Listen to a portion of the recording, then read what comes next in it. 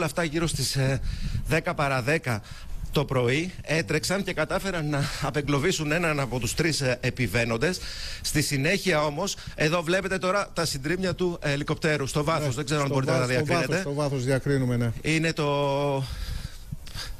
Το πτερίγιο. Ε, έτρεξαν Ε, λοιπόν, κάποιοι είναι περί- ψεκαστικό ιδιωτικής Και, ε, εταιρείας, απεγκλώβησαν- έτσι; Ναι, απεγκλώβησαν τον έναν. Ε, Δυστυχώς τα άλλα δύο άτομα εγκλωβίστηκαν μέσα στο ελικόπτερο. Ήρθε εδώ η πυροσβεστική.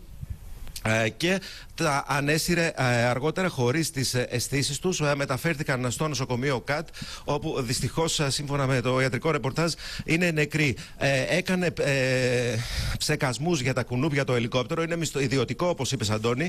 Μισθωμένο από την περιφέρεια Αττικής. Είναι εδώ και ο κύριος Φιλίππου τώρα θα μας πει ε, περισσότερα. Ε, και ε, Ναι, να μας μιλήσει, Νίκο, Ε, καθώς ε, προχωράς, είχε- θα είχε κάνουμε τελειώσει παράλληλα το- και τη συνέντευξη, να μας πει τι στοιχεία έχει. Ναι. Κύριε Φιλίππου, μπορείτε να έρθετε λίγο; Είμαστε σε απευθεία σύνδεση στο. Είμαστε απευθεία σύνδεση στο, στο δελτίο. Ναι, ναι, επειδή είμαστε σε απευθεία σύνδεση στο δελτίο της ΕΡΤ, για πείτε μας, το ελικόπτερο είναι μισθωμένο από την περιφέρεια; Κοιτάξτε, η περιφέρεια Αττικής όπως και όλες οι περιφέρειες της Ελλάδας έχουν την ευθύνη για τους ψεκασμούς, για τα κουνούπια αυτή την περίοδο, την άνοιξη και το καλοκαίρι.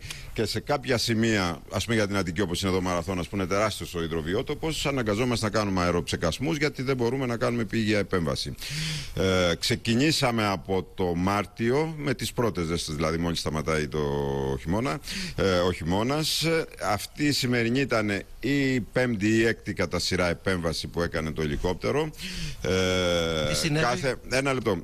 Κάθε φορά ε, κάνει τέσσερις ρήψεις, τέσσερις διαδρομές. Έτσι λοιπόν και σήμερα έκανε τις διαδρομές, τελείωσε και αφού τελείωσε και έπρεπε να φύγει, του ζήτησε κάποιο παιδί που ήταν φοιτητής εδώ, ε, αν μπορεί έτσι να τον κάνει μια βόλτα στο χώρο πριν φύγει, για τα πλαίσια της εκπαίδευσή του ως φοιτητής, να δει το χώρο κτλ. Αλλά είχε τελειώσει. Μισό εν πάση λεπτό, περιπτώσει, Νίκο, την να υπηρεσία παρέμβω του. εδώ. Είχε τελειώσει Ε, τη δουλειά του Ήταν και κάποιος ελικόπτερου άλλος και δίπλα εκεί, επειδή φύλακας ζήτησε ο που είναι εδώ φοιτητής στην το περιοχή ξανασήκωσε ο Σικουριτάς που λέμε πιλότος. στο κομιλατοδρόμιο. Του λέμε να βάσει και εμένα λίγο να δω το Ξέρετε πώς γίνεται στην πλάκα. Και ανεβήκαν να κάνουν το γύρο. Και δυστυχώς έγινε το ατύχημα. Δεν ξέρω για ποιο λόγο, γιατί πέταξε ο πιλότος τόσο πολύ χαμηλά και χτύπησε τα σύρματα της ΔΕΗ. Προφανώς θα τα έχετε κάνει πλάνο πίσω μας που είναι κομμένα. Ε, γιατί και έμπειρο πιλότος είναι και έρχεται πολλά χρόνια εδώ. Μόνο για φέτος είναι η έκτη φορά και, ήταν, και είχε τελειώσει. Δεν ήταν ότι του ήταν άγνωστος χώρο. Νίκο, Προφανώς να το η κακιά στιγμή, επιβεβαιώσουμε, μ' προφανώς ακούς, κάτι Νίκο; μπορεί να έγινε μέσα ε, ή βλάβη. Αυτό τώρα Σε εμπειρογνώμη. ακούω, Αντώνη, συγγνώμη κύριε Φιλίππου. Μισό Γνώμονες, λεπτό, να πούμε προφανώς. Στον κύριο Φιλίππου, μισό λεπτό. Είχε τελειώσει τη δουλειά το ελικόπτερο και το ξανασήκωσε Ναι. για να πάει βόλτα το φοιτητή. Αυτό καταλαβαίνουμε.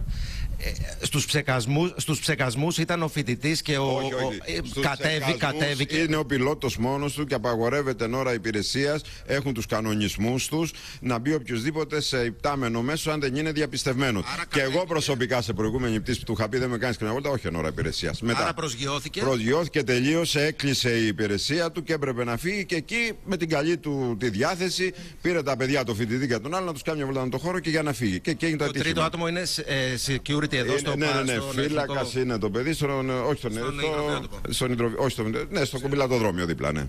Και ήταν εκεί και έβλεπε το ελικόπτερο που έφυγε και τα λοιπά και μπήκε να δει πώς είναι το ελικόπτερο. Και... Και πέταξε Ο- ο χαμηλά και φοιτητής έπεσε πάνω διασώθηκε στα από καλώδια περίκους, τώρα. ναι. όχι, καλά. όχι, όχι, όχι, όχι. Από